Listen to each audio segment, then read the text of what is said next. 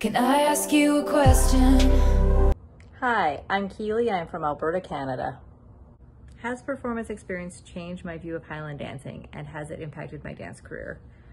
This is a great question. For me, performance experiences like tattoos took me out of sort of my Canadian competitive life and the choreography I was doing with my local dance groups and my students and it gave me a whole new spin on it. It broadened out what the parameters of what Highland dance could be because I had a whole international uh, community helping me learn what they were doing with Highland dancing. So there were new moves and techniques. There was new ways to use the music.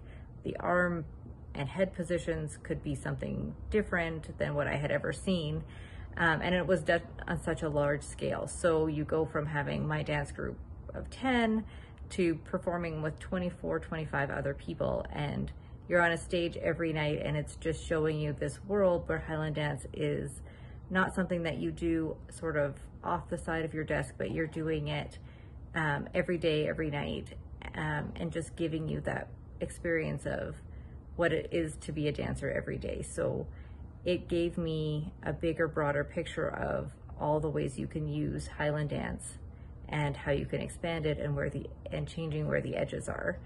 And it's really helped me expand and elongate my dance career as well. So I'm a bit of an older dancer and I'm still performing and auditioning for tattoos, but I'm also now creating better and more interesting choreographies for my dance groups and my students because I have the experience of working with other dancers and directors who have different techniques and ways of doing things. So I think it's just really given me more avenues to play with Highland dancing and it's given me um, some along it's given me a bit of a longer lifespan in Highland dancing and a way to rejuvenate what I was doing and just give it a little bit more oomph.